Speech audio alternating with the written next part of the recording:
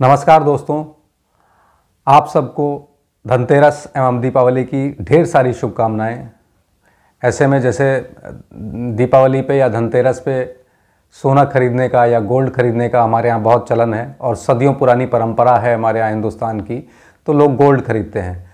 तो उसी एपिसोड में आज हम अपने फाइनेंशियल अवेयरनेस के तौर पे सोने या गोल्ड के ऊपर बात करेंगे।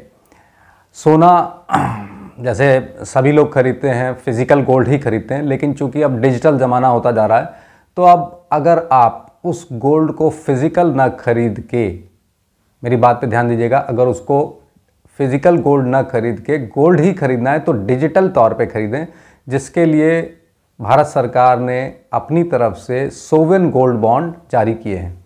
सोवेन गोल्ड बॉन्ड अर्थात सरकारी गोल्ड बॉन्ड जो कि हिंदुस्तान में या भारत में आरबीआई अपनी तरफ़ से जारी करता है। तो इन सोवन गोल्ड बॉन्ड को क्यों खरीदें? उनकी क्या प्रमुखता है और क्यों आपको फ़ायदा है और क्यों आपको खरीदने चाहिए?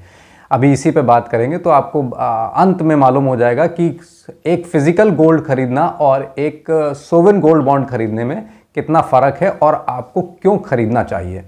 अभी क्या होता है, अगर हम सोना खरीदते हैं तो उसकी प्योरिटी, इम्प्योरिटी, उसको रखने का खर्च, उसको बचाने का खर्च और बाद में बेचने का खर्च बहुत सारा होता है तरह तरह का। तो उसी की वजह से भारत सरकार ने सोवन गोल्ड बॉन्ड जारी किए। सोवन गोल्ड बॉन्ड की सबसे बड़ी चीज़ यह है कि आप उसको एक ग्राम में भी खरीद सकते हैं। एक ग्राम मतलब अगर एक ग्राम गोल्ड आप खरीदते हैं, जैसे एक तोला लोग खरीदते हैं, ऐसे ही आप एक ग्राम गोल्ड भी खरीद सकते हैं या गोल्ड बॉन्ड ले सकते हैं। इस गोल्ड बॉन्ड के लिए सरकार अलग अलग टाइम पे सोविन गोल्ड बॉन्ड की बार बार वो जारी करती है, उस पर आप खरीद सकते हैं और बाज़ार से भी खरीद सकते हैं। तो अब हम उस पर बात करेंगे कि सोविन गोल्ड बॉन्ड में क्या क्या चीज़ें हैं। सबसे पहली जो उसकी प्रमुख वो है वो है एक ग्राम गोल्ड बॉन्ड भी आप खरीद सकते हैं। दूसरा, लिमिट मैक्सिमम चार के पर इन्वेस्टर, पर फाइनेंशियल ईयर है। तो मींस मिनिमम हो गया एक ग्राम एंड मैक्सिमम हो गया फोर के पर इन्वेस्टर, पर फाइनेंशियल ईयर आप इसको खरीद सकते हैं। दूसरा इसका सबसे अच्छा वो है कि ऐसे आप गोल्ड खरीदते हैं तो उसमें कोई ब्याज नहीं मिलता। लेकिन यहाँ पे आपको ढाई परसेंट का ब्याज भी मिलता है, जिसको आपको सरकार आपके खाते में उस ब्याज को सेमी एनुअली मतलब हाफ़ ईयरली आपके बैंक में इंटरेस्ट आपका क्रेडिट हो जाता है।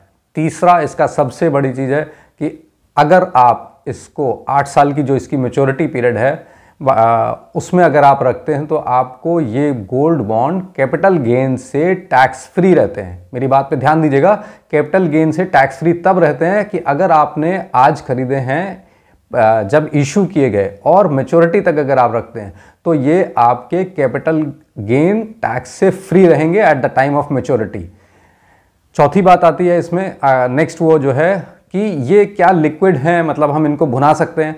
हाँ बुना सकते हैं, लेकिन उसकी कंडीशन है कि ये एक तो आपके डिमेटरलाइज मोड में होने चाहिए कि आप फ़िज़िकल सर्टिफिकेट ना लें और इसको डीमैट मोड में लेंगे तो ये ट्रेडेबल सिक्योरिटी है और आप स्टॉक एक्सचेंज में जैसे आप शेयर्स बेचते हैं, वैसे ही इसको आप ट्रेड कर सकते हैं और ख़रीद सकते हैं।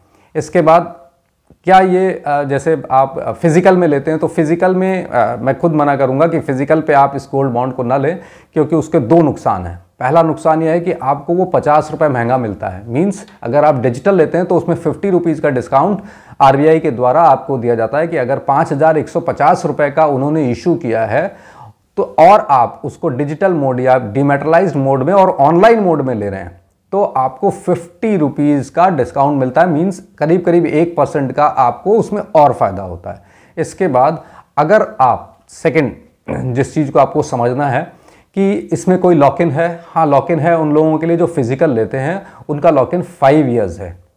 और फाइव ईयर्स लॉक इन के बाद आप उनको ट्रेड कर सकते हैं फ़िज़िकल वालों को भी, या उनकी बाज़ार में बेच सकते हैं, लेकिन उस पर ट्वेंटी परसेंट का long term gain with indexation tax आपको लगेगा। इसलिए जब भी ये गोल्ड लें गोल्ड बॉन्ड लें, या गोल्ड में निवेश के लिए सोचें तो ज़रूर सोवन गोल्ड बॉन्ड पर ध्यान दें बिकॉज़ ये आपका चोरी नहीं हो सकता, ये आपकी प्योरिटी इम्प्योरिटी को बचाता है, और इसका सबसे बड़ा फ़ायदा जो गोल्ड में आप इन्वेस्ट कर रहे हैं या जो गोल्ड के में इन्वेस्टमेंट पे रिटर्न की सोच रहे हैं, वो रिटर्न्स आपको गोल्ड के हिसाब से सेम इसमें मिलता है बिकॉज़ ये गोल्ड बॉन्ड के रेट जैसा बाज़ार में गोल्ड का रेट चल रहा है, वैसा ही चलता है। इसमें एक सबसे बड़ा यह है कि आपका इसमें टाका नहीं कटता, किसी तरह की और कोई चीज़ नहीं कटती।